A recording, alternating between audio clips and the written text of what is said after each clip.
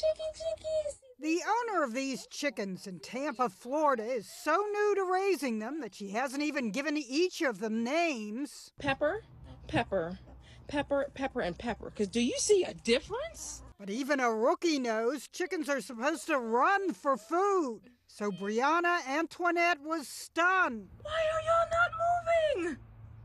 Hello? When all five of her chickens simultaneously froze and stayed paralyzed for over two minutes. What was your immediate thought when they froze? I thought Jesus was coming back.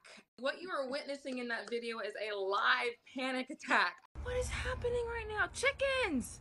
The internet had theories. People asked, Did you try unplugging them and plugging them back in? reminded us of a black lab named Maverick who froze when he encountered five wooden black cat lawn decorations. Maverick.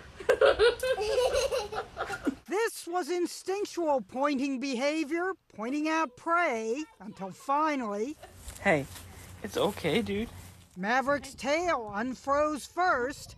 As for the paralyzed chickens, when Brianna yelled for her fiance, they suddenly unfroze. Nick!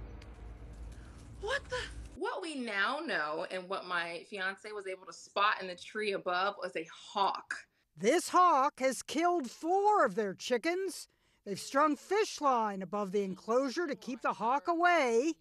By standing motionless, they're trying to be invisible.